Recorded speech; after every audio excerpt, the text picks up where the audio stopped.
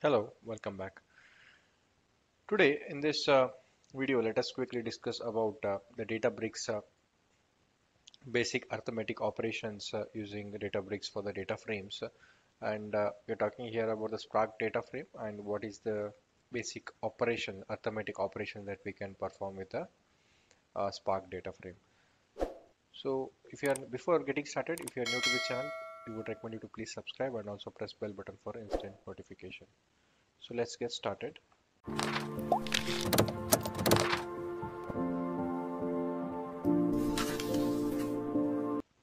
So we would recommend you to please uh, pause this and uh, go through this.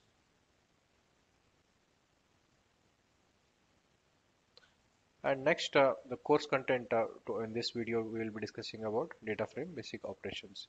So, so this is the uh, Databricks uh, setup that we have, uh, uh, and we have all the required data frames and the data setup ready. And if you're new to the new to our channel and this playlist, we would recommend you to please check the previous videos in the same playlist to understand how to get these resources added and you can get all these uh, practice notes uh, uh, and you can start practicing so like in this coming to this video so as part of the data frame manipulations we are discussing about the basic arithmetic operations.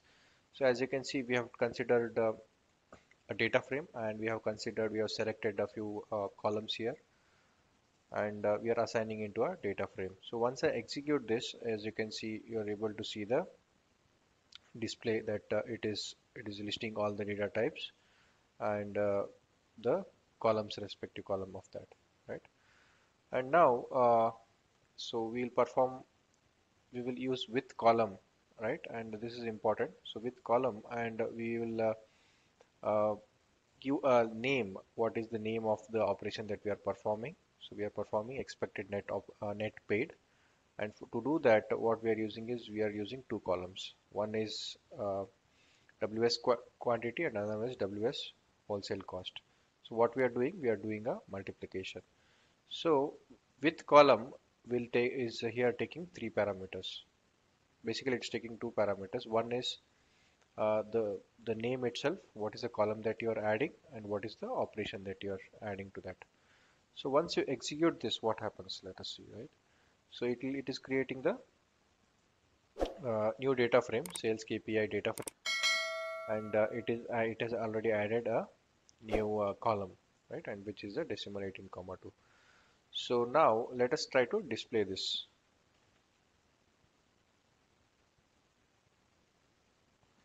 So what we are expecting here is once it displays uh, we are expecting a new column to be added and uh, the calculation this calculation is performed right?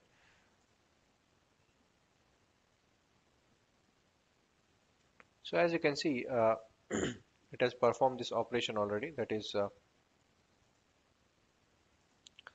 so if you take uh, this as example, right? Uh, WS quantity and WS wholesale cost. WS quantity and WS wholesale cost.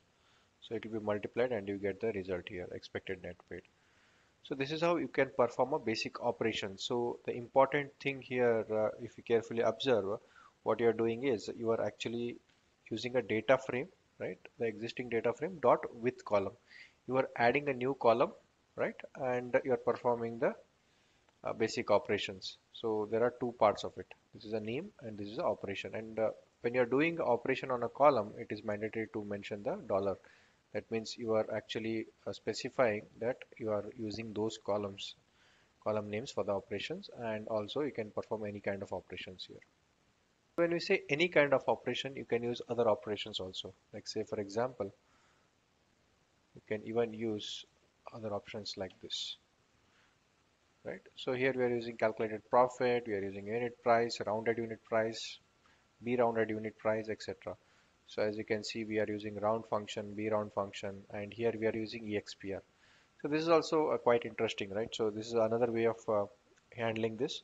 So as you can see here, we used dollar when you are specifying we are using dollar dollar right so but you can on the contrary you can use if you don't want to use a dollar right so you can use expr and then directly specify the column column names without the dollar symbol and perform the operations. And you can also use the math functions like round b round etc so once you execute this if you finally execute the result you can see these new columns will be added to this so as you can see the new columns like a calculated profit unit price rounded price be rounded price etc has been added now. So you can uh, use this uh, different ways. Like one is by giving the dot uh, another one is uh, by just giving the expr function and uh, you can use the column names without the dollar. So just uh, you can practice, you can use this demo notebooks that we will send. And you can start practicing so that you'll be able to understand this much better when you do the hands-on. So hope this was useful and uh, thanks for watching.